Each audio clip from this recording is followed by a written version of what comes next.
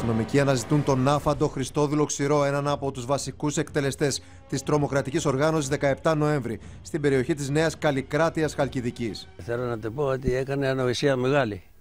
Τους Δεν- συστήνεται να γυρίσει. Δεν πίσω. έπρεπε να γυρίσει πίσω, δεν έκανε καλά. Δεν έκανε σωστά. Έχουν περάσει λίγες ώρες από τη στιγμή που ο 56χρονο καταδικασμένος σε ισόβια δεν έδωσε το παρόν στο τοπικό αστυνομικό τμήμα. Βρισκόταν εκεί κάνοντας χρήση 9 ήμερη άδεια.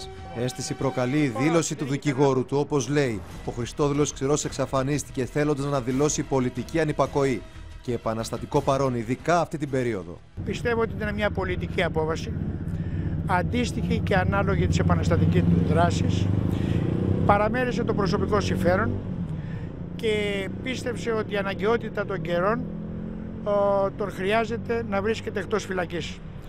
Γι' αυτό χαρακτήρισα την απόβασή του πολιτική και γενναία. Με ομόφωνη απόφαση του Συμβουλίου των Φυλακών, ο Χριστόδουλος Ξηρός έλαβε 7 άδειες μέσα σε 15 μήνες, από τον περασμένο Σεπτέμβριο δηλαδή. Από την Κυριακή το πρωί εξαφανίστηκε. Ήταν να πάει στα αδέρφια του που είχε. Όταν ερχόταν εδώ, όταν έρχεται εδώ αυτές τις μέρες που ερχόταν, τι κάνετε, κάθετε σπίτι μαζί σας; Και σπίτι κάθεται και στη Θεσσαλονίκη πήγε στα αδέρφια του. Ο Χριστόδουλο Ξηρός ήταν ένας από τους μπιστολέρο της 17 Νοέμβρη. Καταδικάστηκε σε 6 φορές ισόβια και 25 χρόνια κάθεξη για συμμετοχή σε 33 ενέργειες, επιθέσεις, εκρήξει και ληστείες. Πήρε μέρος σε 5 δολοφονίες, αυτή του εκδότη Νίκου Μομφεράτου και του οδηγού του Παναγιώτη Ρουσέτη το 1985, του αστιφύλακα Ιωάννη Γεωργακόπουλου και του βιομηχάνου Δημήτρη Αγγελόπουλου το 1985, του στρατιωτικού ακολούθου Γουίλιαμ Νορντίν το 1988 και του Θάνου Αξαριάν στην απόπειρα κατά του Γιάννη Παλαιοκρασά το 1992. Στις 9 το πρωί, αστυνομικοί συνοδεία Ειρηνοδίκη ήρθαν στο σπίτι της οικογένειας των Ξηρών στη Γαλλικράτεια προκειμένου να πάρουν κατάθεση από τους γονείς του Χριστόδηλου Ξηρού για το αν γνωρίζουν πού βρίσκεται ο γιος τους. Οι έρευνες εκτείνονται σε όλη σχεδόν την επικράτεια. Οι αστυνομικοί δίνουν βάση κυρίως σε περιοχές όπου υπάρχουν φιλικά ή συγγενικά πρόσωπα, όπως τη Χαλκιδική, τη Θεσσαλονίκη, τη Φλόρινα, την Πάρο και την Ικαρία. Τα αδέρφια του τον περιμένανε εχθές. Του είχαν τραπέζι, πήγανε όλοι οι φίλοι και εκείνο δεν πήγε. Δεν είναι. Ούτε. Ανησυχείτε, τι μπορεί να συνέβη, τι, τι, μπορεί να, τι φαντάζεστε; Φαντάζομαι ότι σκέφτηκε να του κάσει. Έτσι λέτε, Ε, ε. Αυτό σκέφτομαι. Τι άλλο. Ο Χριστόδουλος Ξηρός την πρωτοχρονιά βγήκε από τις φυλακές Κορυδάλου κάνοντας χρήση της 9ήμερη άδειας. 7 συν 2 ημέρες για τις μετακινήσεις του. Χθες δεν παρουσιάστηκε στο τμήμα της Νέας Καλλικράτειας όπως είχε υποχρέωση και τα μεσάνυχτα ξεκίνησε η επιχείρηση αναζήτησής του. Στις 9 Ιανουαρίου λήγει η άδειά του και αν δεν παρουσιαστεί στις φυλακές θα θεωρηθεί δραπέτης. Φανερά ενοχλημένος και με σαφείς εχμέ κατά της δικαιοσύνης εμφανίστηκε ο Υπουργός Δημόσιας Τάξης Νίκος Δένδιας. Ο εισαγγελικός λειτουργός και το συμβούλιο το συγκεκριμένο ορίζει ρητά, αλλιώς δεν δίδεται άδεια, ότι ο συγκεκριμένος δεν είναι ύποπτος φυγής και επίσης δεν είναι επικίνδυνος για δημόσια ασφάλεια. Λίγο νωρίτερα είχε εκφράσει τον προβληματισμό του και στον πρόεδρο της Δημοκρατίας. Κύριε Πρόεδρε, δυστυχώς ξεκινήσαμε άσχημα.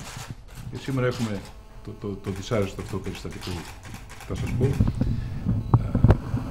Πραγματικότητα είναι ότι η ελληνική αστυνομία κάνει το καθήκον της. Και έχει, η, η χώρα έχει πρόβλημα τρομοκρατίας.